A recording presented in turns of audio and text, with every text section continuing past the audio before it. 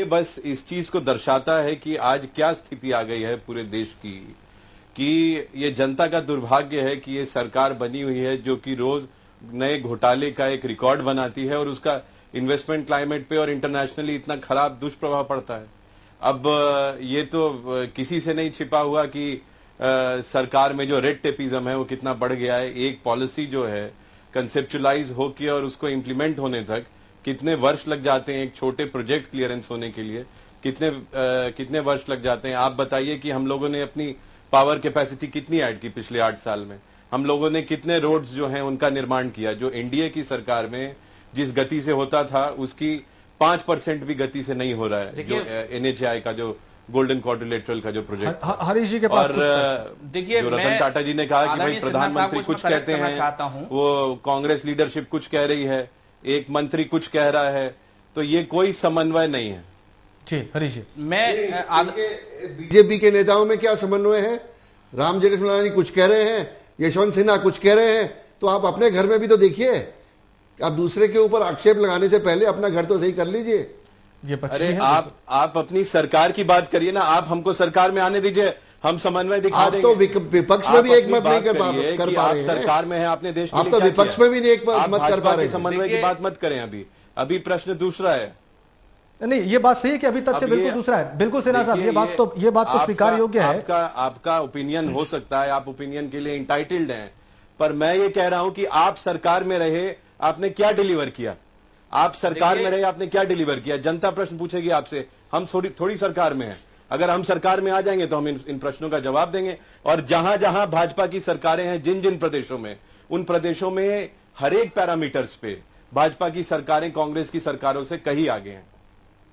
हरीश जी। देखिए मेरा यहाँ पर आदरणीय सिन्हा साहब को करेक्ट करने का आ, निवेदन है कि जो भाजपा की नकारात्मक राजनीति है जो पिछले कुछ समय से जिस प्रकार से देश के अंदर माहौल क्रिएट किया गया है माहौल बनाया गया है जिस प्रकार से आप कल तक भ्रष्टाचार टू के ऊपर कहते थे वही कैक की रिपोर्ट आज उल्टी हो गई। वो कहते हैं कि नहीं इतने का नहीं इतने का घोटाला था। जिस प्रकार से ये चंद लोग मिलकर के भारत की छवि को धूमिल करने का विदेशों में प्रयास कर रहे हैं और भारतीय जनता पार्टी कहीं कहीं लोगों का सहयोग करती है। जिस प्रकार से इन्होंने बिजली की बात कर रहे हैं परमाणु परमाणु जो ऊर्जा का जो हमारा वो था उसके ऊपर इन्होंने विरोध किया। तरह तरह की हमारी नीतियों का इन लोगों का इन लोगों ने विरोध किया है।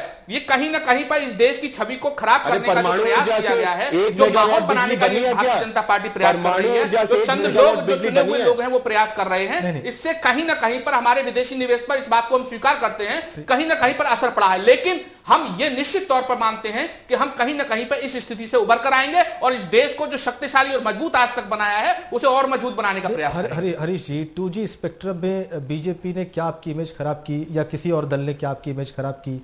कोल स्कैम के मामले में हमारे भाई आप देखिए वो के पास वो जो कैग की रिपोर्ट थी कहाँ पर एक लाख छिहत्तर हज़ार करोड़ रुपए कहते थे। आज कैग की रिपोर्ट के अंदर बहुत सारे अधिकारी कहते हैं ये तो फर्जी रिपोर्ट है तो हैं चार हज़ार या तीन हज़ार का घोटाला वो घोटाला भी नहीं था वो अनियमितताएँ थी वो कहीं ना कहीं लूप होल्स थे। ये सारी बातें इस देश को भ्रमित हाँ। करने के लिए है। दो साल से चूँकि चुनाव बचे हुए हैं या तो आप जनता पार्टी के लोग इस बात में लगे हुए हैं कहीं ना कहीं सरकार की इमेज खराब की जाए देश के स्वच्छ और ईमानदार जवाब सुनने की तो और इस देश के अंदर दूसरा माहौल पैदा किया जाए जो कि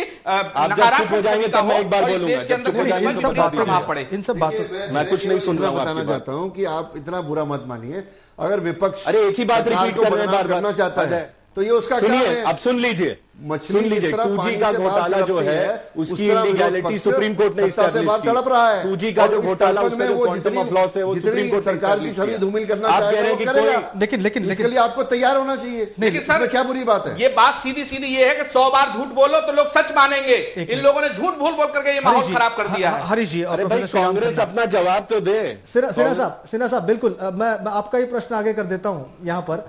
आप सौ बार आप सौ बार झूठ बोल रहे हैं तब भी कोई सच नहीं मान रहा है। रतन टाटा कह रहे हैं पूरे पूरा देश कह रहा है कि कांग्रेस झूठ बोल रही है। जी अब प्रोफेसर श्रीराम खन्ना सवाल ये भाई शुक्ला जी अगर डिबेट को कंडक्ट करना है तो आप सबको बोलने का मौका दें। जी, जी, अगर बोले, मैं बोल रहा हूँ बीच में इंटरजेक्ट करते रहेंगे तो बोले, बोले, कोई बात नहीं हो पाएगी। बोले बोले बोले। यही जो है बगजग होते रहेगी। बोले सेना साहब बोले आप। बोले। मैं कह रहा हूँ टू घोटाले का जो प्रश्न था जी मैं बोल रहा हूँ शुक्ला जी।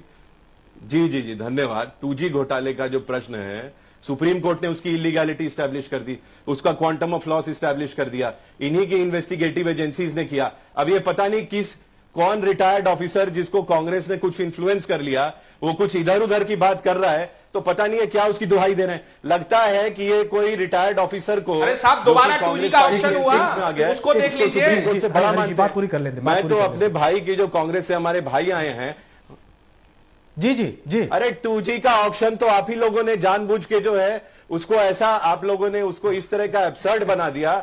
यही तो आ, आप लोग अपना पॉइंट प्रूव करने के लिए पूरे देश का नुकसान कर दिया आपने। आप अपनी राजनीति करने के लिए किसी हद तक चले आपने किया। है ये। नहीं नहीं। देखिए ये प्रोफेसर श्री राम खन्ना। जो विषय है जी विषय ये है। देखिए विषय ये है कि अगर ये कितना भी था उसमें लॉस जी। ये बात तो तय है भाई सरकार एक मिनिस्टर को जेल में जाना पड़ा। तो हमको ये सरकार ये में तो तय है कि उसका मुकदमा चल रहा है।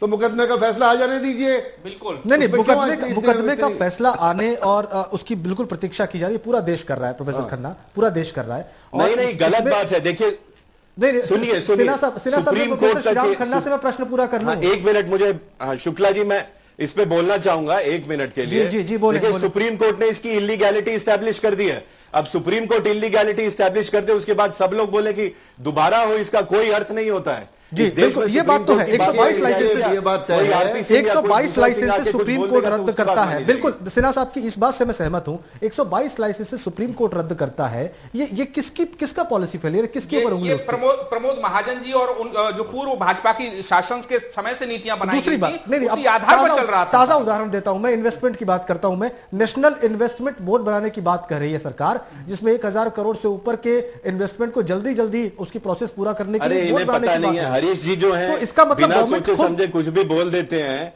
वो जो उन्होंने 2000 2009 में जो स्पेक्ट्रम का जो बंदर बाट किया उसका प्राइस 2001 का रखा।